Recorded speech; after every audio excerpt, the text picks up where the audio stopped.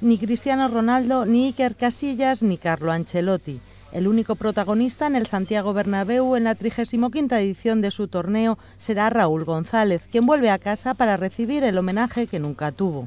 Han tenido que pasar tres años para que el ex capitán, el hombre que gobernó el vestuario blanco, se dé un merecidísimo baño de masas. La ilusión de, volver eh, a vestirme la camiseta del Real Madrid, la que tantos años defendí con, mucho orgullo. No me pude despedir de, de toda la gente como me hubiese gustado. Hoy es el gran día en el que el autor del mayor registro goleador de la historia del Real Madrid, con 323 tantos en 741 partidos, el espejo en el que se miraban todos los futbolistas de la cantera, ejemplo de superación, sacrificio y máximo esfuerzo, tendrá un homenaje a su altura, de un señor dentro y fuera del campo.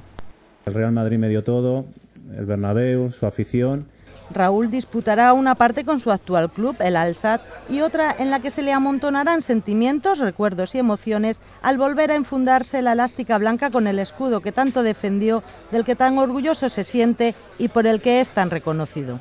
El madridismo va a expresarte todo su cariño, todo su afecto. Va a ser una noche mágica para todos. También para los hijos de Raúl que podrán verle jugar al lado de Cristiano Ronaldo. El gran ausente de esta fiesta blanca será Xavi Alonso que se ha vuelto a romper. Esta vez el quinto metatarsiano del pie derecho que le tendrá de baja de dos a tres meses.